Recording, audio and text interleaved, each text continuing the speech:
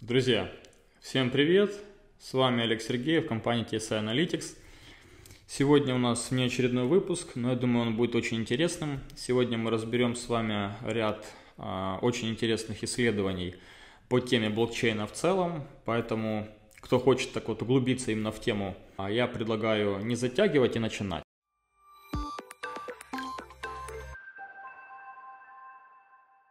Итак, одна исследовательская компания Gartner занимается исследованием жизненного цикла технологических компаний. А она, соответственно, выделила ряд таких вот трендов или фаз, которые а, проходит технологическая компания на протяжении своего жизненного цикла. Какие-то у нас жизненные фазы, тренды мы сейчас увидим на слайде.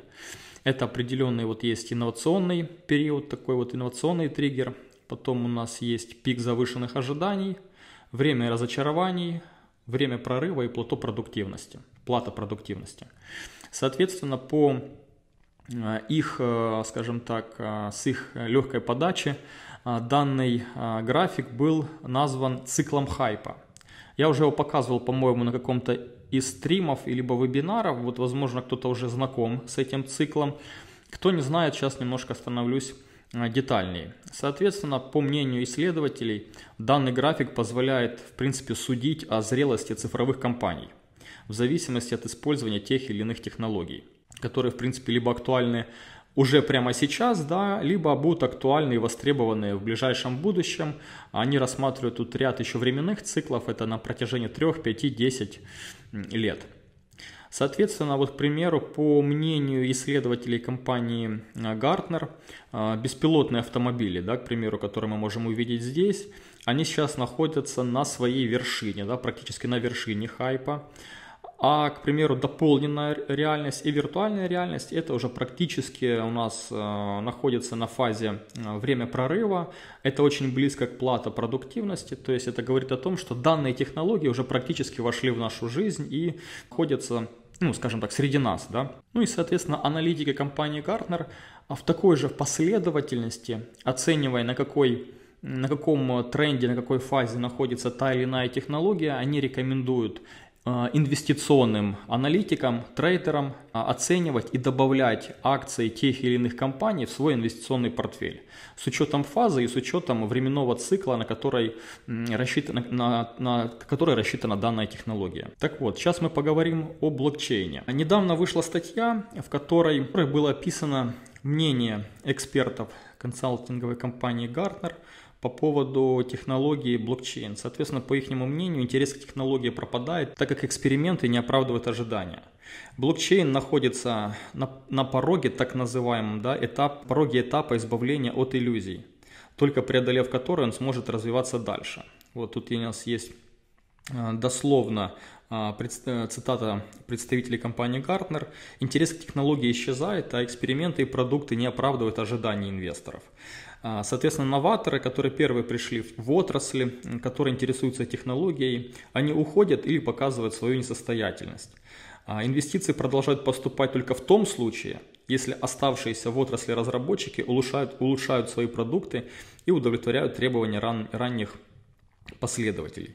Ну и, соответственно, по мнению вице-президента компании Майка Уолкера, а, блокчейн преодолел пик если мы посмотрим на сам а, график, а, график а, цикла хайпа, он преодолел пик завышенных ожиданий, и для стадии созревания ему еще потребуется от 5 до 10 лет. По его мнению, для того, чтобы технологию начали использовать, должен произойти переход непосредственно к рабочим продуктам.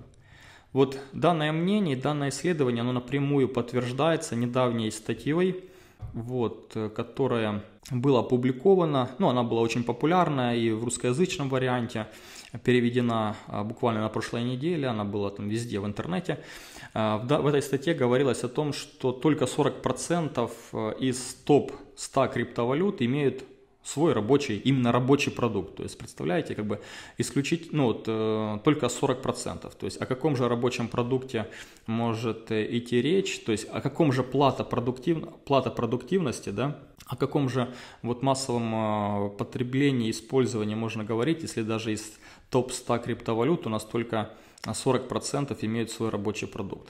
Хотя, конечно, блокчейн это не только криптовалюта, да, это нужно иметь в виду, но тем не менее, если мы оцениваем э, криптовалюты, то только вот 40% имеют свой рабочий продукт. В эту же тему укладывается еще одно исследование, которое мне очень понравилось, оно является очень таким вот э, показательным. Это исследование посвящено э, такой вот динамике по времени, сколько монет из топ-100 в разные периоды времени Э, сохраняются до там, текущего момента. Да? Ну вот, это исследование было проведено компанией Element Group, тоже, кстати, очень классное у них исследование, рекомендую подписаться и получать очень интересную статистику и информацию. Так вот, э, в данном э, исследовании проводилась такая вот аналогия.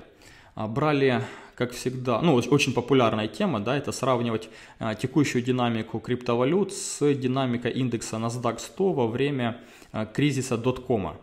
Так вот, а, по ихнему, согласно ихнего исследования, из тех компаний доткомовских, да, которые были основаны в 96 году, до 2004 года выжило, в принципе, только 48%. Это если учесть, что пик кризиса пришелся на март 2000 года. Данную статистику они считают, в принципе, довольно-таки э, ну, как бы соответств, соответствующей э, текущей ситуации на криптовалютном рынке.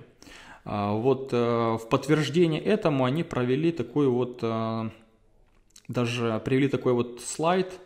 Сейчас я, наверное, его открою в большом размере. Так вот, на данном слайде э, тут есть у них э, несколько кривых и э, были проведены такие вот исследования. Бралось 100 лучших, 100 топ криптомонет на разный период времени – на январь 2015 года, на январь 2016 года, на январь 2017 года и, соответственно, на январь 2018 года. А, соответственно, эти топ-100 монет, они отличались по своему составу в эти периоды времени. Так вот, в чем суть? Вот, к примеру, возьмем вот эту вот красную кривую, это топ-100 монет, которые а, были актуальны на момент января 2015 года. Так вот, только на текущий момент только 64 монеты, да, только 64 криптовалюты, они в принципе еще торгуются. Торгуются хоть на каких-то биржах. Они, не говоря уже о том, что они еще остались в топ-100. То есть э, об этом вообще речи не идет. В принципе, только 64 криптовалюты торгуются на данный момент. Вот. Ну и по такой же аналогии можно оценить и следующие а, периоды. То есть вот январь 2016 года, если взять топ-100 монет, которые были актуальны на тот момент времени, сейчас а, дошло ну, порядка вот 75 монет, которые в принципе торгуются, да, ну и так далее. То есть это все как раз вот соответствует э, исследованиям и циклу хайпа, а, тому периоду времени, сколько нужно, чтобы еще прошло до скажем так, повсеместного использования блокчейна. И это все соответствует э, как раз вот той статистике, которую мы недавно получили по поводу рабочего продукта. Вот такая вот как бы интересная информация, она такая довольно-таки легкая, но дает общее представление, общее понимание, что у нас сейчас есть в принципе в сфере и в отрасли. Ну и напоследок я хотел бы от себя порекомендовать один очень интересный канал. А, это торговый блог Виталия Жукова. Данная информация, которую Виталий раскрывает в своем а, видеоблоге, она очень качественная, по тематике нам близка. А, это все, что касается криптовалют. Э, ролики довольно-таки короткие, но очень емкие. Информация такая концентрированная, не размазанная. Поэтому, кому интересно, рекомендую подписаться. Ссылка будет в описании. На этом у меня все. Спасибо за внимание и услышимся в следующих выпусках.